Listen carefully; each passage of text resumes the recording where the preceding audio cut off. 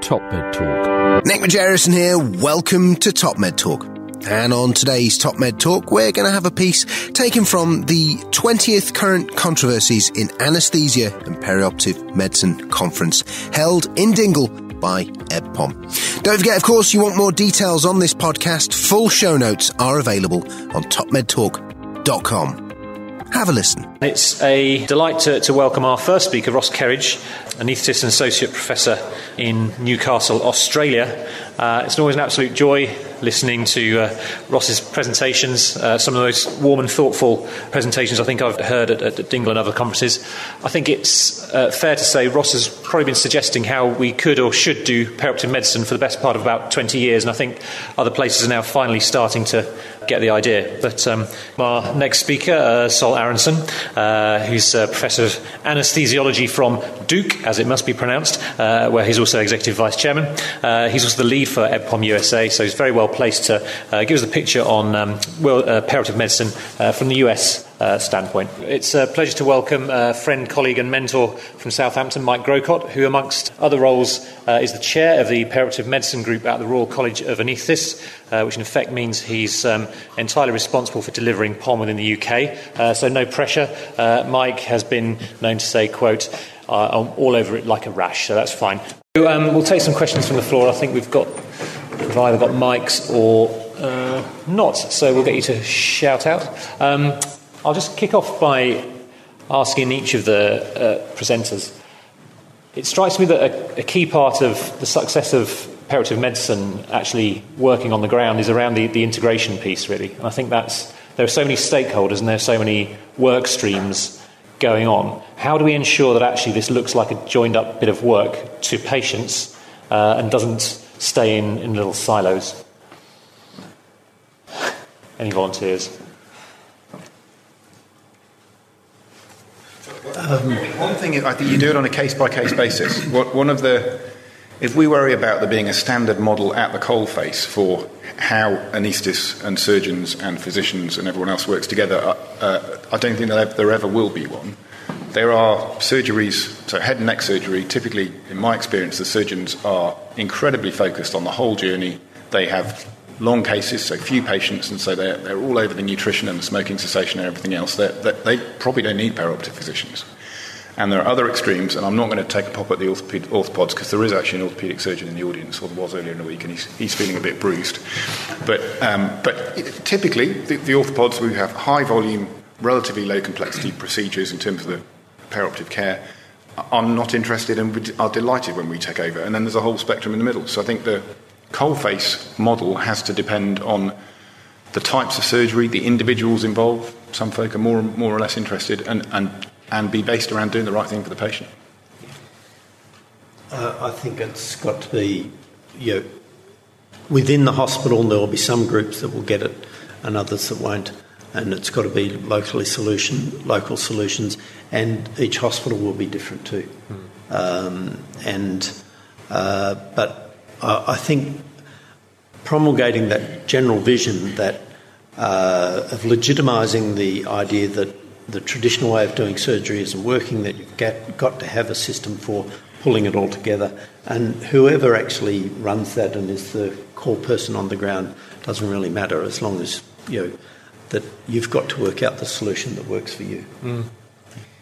I, I, would just add, um, obviously we're early in um, our curve to, to understand um, that. One of the things that we've tried to do, um, sometimes very successfully, sometimes with um, you know less success, is we are agnostic to specialists. When we, we have something we call POET, another acronym, it's the um, Perioperative Enhancement Team.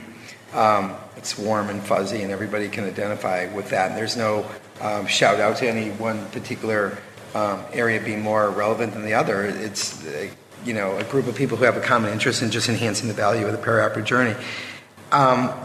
We have hematologists on the team, we have neurologists on the team, I have internists on the team, I have geriatricians on the team, and everyone is invited if they have an idea that um, is worth hearing um, to to sort of move that ball down the road. And, and Um, it, it's you know it's a complex um, journey. It, it's not just medicine, though that's a core part of it. It's also implementation science, and for that we also have finance in the room, and we have operation expertise in the room. And um, I, I have a two-hour meeting every Monday. It's a steering committee where we literally just review uh, things that we've launched things that we're thinking about launching, um, crazy ideas that are just twinkles in our eye. But it, it's a it's a free uh, meeting for anybody to come to.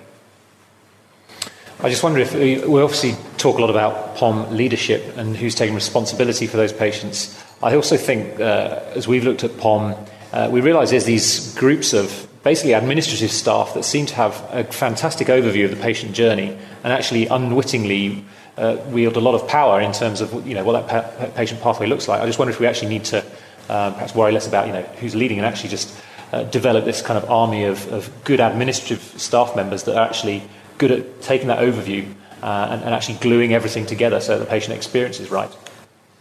So I'm, I'm going to jump in and just say I, I strongly agree with that point of view. I, I, um, I think we're lucky in that we um, out of the box adapted that point of view, and it's been invaluable. I cannot imagine having had the successes that we've had or, or plan to manage the gaps that we've identified without having that, that competency in the room. Uh, Ross? Yes, but. Yes, but. Uh, yes, yes, and. I'm being coached about. That's right. Never say that. How's it going? Yes, and I think you also need to build that. Everybody needs to understand that even if they're enacting decisions uh, and acting at a higher level than they used to, that there is someone that they can fall or flick the case to to sort things out when things get really difficult or get really sticky. Um, and something magical happens when you turn about 50 and your hair goes grey, and all of a sudden people treat you with respect. And yeah, and when things go really bad, and you walk into the room with three or four other people, and all the eyes are on you. And but those people are really obviously I've been in that situation a few times. But I think having people who are prepared to take that role is really important. Um, and yeah I think a really important element of your question was the pathway word. Mm. Because in some respects, you can define uh, us with surgery and one or two other specialties as quite distinct from other medical specialties in, in that we're, we're all about pathways. And, and so Sol's analogy of the you know, take off, flight, landing, which we've traditionally thought of as sort of induction of anesthesia, sleep, wake up, actually works with contemplation of surgery to full recovery. And, and it's a different uh, it's a different type of engagement with a patient than the than the chronic ill health doctors who have the very well informed patients. It, it's a different relationship and a different pattern. And actually thinking about ourselves as pathway doctors and healthcare providers may be important. Just to, to, sort of um, harness, if you will, all the opinions um, to be, you know, essentially a, a same expression. I, smoking cessation is a population health issue that obviously has great impact on the patients that we see in, in the perioperative uh, domain. It, that chronic relapsing disease doesn't go away, and what we do before they are having surgery is, is not a hard stop. In other words, we, we have a system right now where I, I have clinics all throughout the triangle, all throughout a three county area around Duke Hospital, and we're, we're engaging with primary care physicians to you know stand up more. And those are all uh, feeder groups from once we identify that need to touch that patient's you know uh, issue. So I, I, do think as a as a uh, physician with a focused um, expertise in, in, perioperative medicine, as we heretofore have defined it, not to respect that broader, if you will, breadth of competencies, just limits our ability to do awesome things. And and and it's not to say that there's there's not um, a point of, of uh, um, resolution when there's a, a cognitive, re, you know, responsible difference of opinion. But, but I think you have to bring smart people into the room to make you better.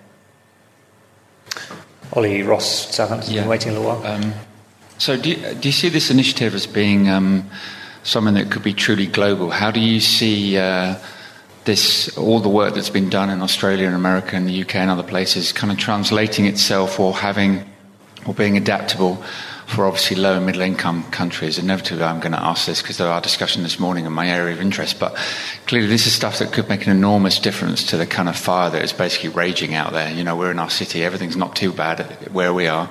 And it's uh, it's uh, pretty bad out there. And how do you how do you see engaging? Have you you presumably been approached by leaders in other other countries who have their own institutions where they want to set this up for their high level stuff. But how do you see that working for kind of across the kind of low in, middle income kind of type areas? Ross, yeah. Thanks, thanks for asking that because I, I think that's a really interesting discussion. Uh, and my understanding, I've had I had some exposure to you know less developed uh, health situations, very young and virtually nothing since. But my understanding from my reading is that the same messages apply that there is a lot of preventable morbidity, mortality, and costs associated with poor patient preparation and poor post operative care. Uh, and it's seen as a low value area. Um, the surgeons tend to focus uh, on what's going on in the operating theatre, uh, and then the patients are falling apart on the wards.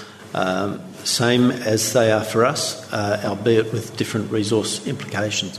But I think if we can get that message out there, uh, and to some extent, that question about do you train medical anaesthetists or medical anaesthesia providers, maybe we need to have medical perioperative specialists, regardless of who's actually you know, in the operating theatre doing the procedure. And it rings bells very clearly with the experience of the Australian hero surgeon uh, called Fred Hollows, who was an ophthalmic surgeon. Um, but famously, he uh, worked in Nepal and in Eritrea, and I'm not sure whether it was where, exactly where it was. But he realised that he shouldn't bother doing the cataract surgery because he was much better off supervising the clinics and setting up the systems and literally trained non nursing, non technical, virtually kids straight out of school, generally younger women because they've got finer, finer dexterity to do the actual cataract surgery. He said that wasn't the difficult thing. The, the, overall system was, was um, more important for his um, charisma and expertise and all that. And I, and I think getting out this message that perioperative medicine is a paradigm that applies very much in what, even in resource constrained situations, is a very important uh, thing. So. It's a really interesting question, not just for um, its direct surface implications, but I, as Ross was answering it, I was actually thinking that um, obviously you, you have it's situational and conditional, and you have to uh, appreciate the priorities and, and, establish a way to, find those priorities and, and, and begin to chisel away at um, change um, and, and a big bang isn't always feasible. Um, but, but it's also a cultural transformation. And, and I was thinking, um, though you compared the States or Australia or uh, the UK to um, less developed, if you will, regions of the world, I would argue within the United States there are, there are institutions and hospitals that are very um, um, comfortable and, and, and able to, if you will, take that sort of bold leap. And there are institutions that are scratching and clawing to survive. And, and, and it's not even an international, national sort of analogy, but it's, it's a regional one.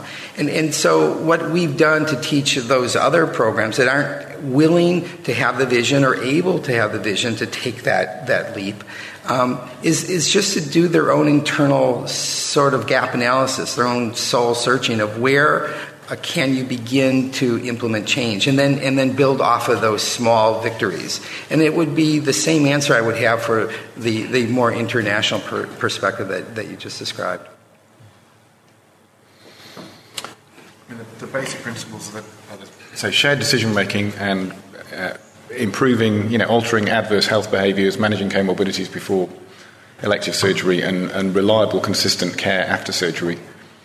It doesn't really matter who does them uh, or, or, what your exact system is, but the principles I think are still useful, and we have we've tended to focus on the procedure and maybe sometimes forget the penumbra. Any other questions from the floor, uh, Ollie?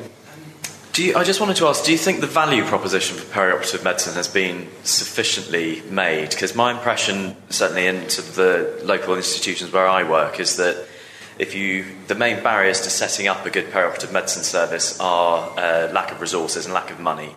So if you say to managers, we'd like to set up a more comprehensive perioperative service that will include more of our high risk surgical population, the response is, well, who's going to pay for it, who, that needs more staff, it needs more resources, and there's not a sort of there's not a sufficient evidence base to persuade them that that will save money in the long run.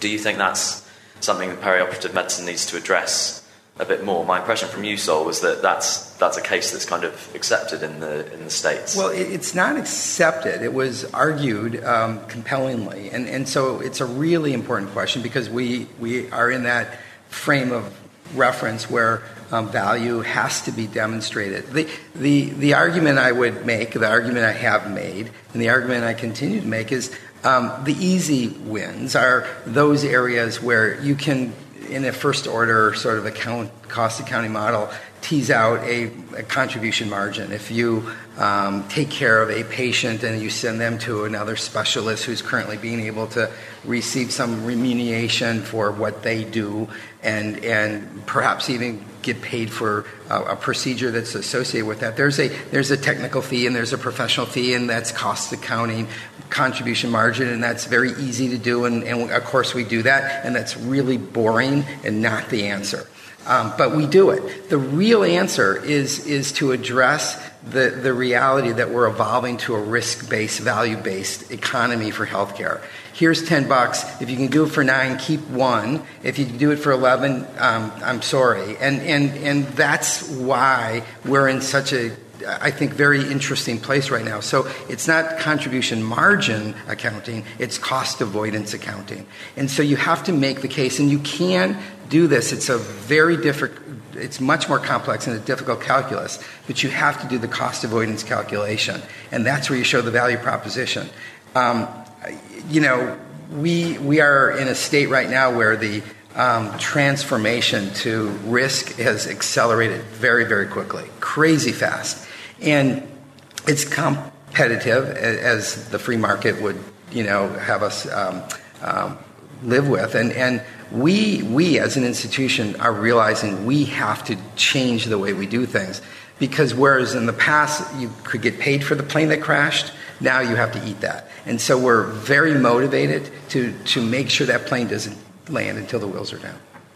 Ross, you're shaking your head. uh, there's just, I'm in awe of things like this. I think I've just heard an MBA in the space of two minutes. But um, the, the overall thing, I think you're right. I think the value, the message hasn't got out there. And perhaps, well, certainly in Australia, I'm not sure about the, uh, it's probably in the NHS from what I've seen as well. Uh, it has been implemented at a local level, and people have seen, oh yeah, by you know, making this deal about you know, doing this, then we can bring in most patients on the day, and that's been easy. But I think getting the higher level bureaucracy and health economists to understand what it's all about, I don't think we've done that well. And certainly, one of the things that the college in Australia is doing is a pretty you know, high level health economic analysis as a foundation for getting that message out there.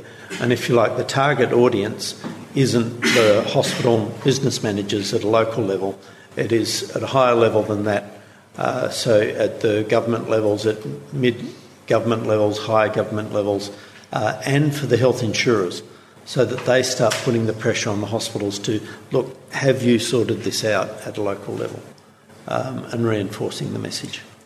So, and, and in, I mean, so our context, the bundled payments is about where you're getting to at the moment. I know capitation may come. Our, our context in terms of healthcare funding is moving towards true capitation, i.e., uh, here, Surrey, have a billion quid and just sort it out. So everything, public, social, uh, you know, social care, primary care, secondary care, is all, all, in the same basket.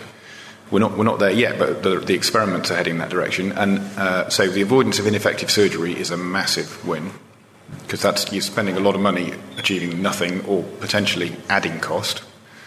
Uh, the, the nudges that we can do because uh, primary care is so overwhelmed that many uh, patients essentially uh, engage with us or perioperative care as their specialist physician for the first time. So the nudges around chronic disease management, you know, diabetes, anemia, atrial fibrillation, etc., I think are enormous. And then and the you know, prehabilitation, long-term behavioural change, and that impact on population health are, all potentially massive. At the moment, the shared decision making is the easy win because that works at an institutional level, but the the others work at a system level, and that's where I think we're going. And, and I, I think it'll be a relatively easy win. And so, I mean, certainly at the moment, the STPs are very. I mean, they're all over perioperative medicine. So uh, I'm going to defer any further comments and discussions to a nice cup of tea. Uh, I'd like to thank you. Uh, join me in thanking all our uh, speakers this afternoon. Nate Majerison here. Thanks for listening to Top Med Talk. Now, before we let you go, it's important that we remind you to subscribe to Top Med Talk. That way you'll never ever miss another episode. Also, if we could encourage you to join us on social media, Twitter, Facebook, LinkedIn, YouTube, pretty much every single social media platform, we're there. Join us. And finally, check out topmedtalk.com if you go to our website, you can subscribe to email updates. That way we can always tell you where we're going to be, what we're going to be doing, and how you can join us. topmedtalk.com and click on the section marked email updates. Finally, Top Med Talk is proud to act as the broadcasting arm of EBPOM, evidence-based perioperative medicine. We'd love you to find out more about them as well. ebpom.org is their website. That's ebpom.org. And if you go to ebpom.org forward slash meetings, you can find out about some of the wonderful meetings that we attend and cover across the year here on Top Med Talk. That's ebpom.org forward slash meetings.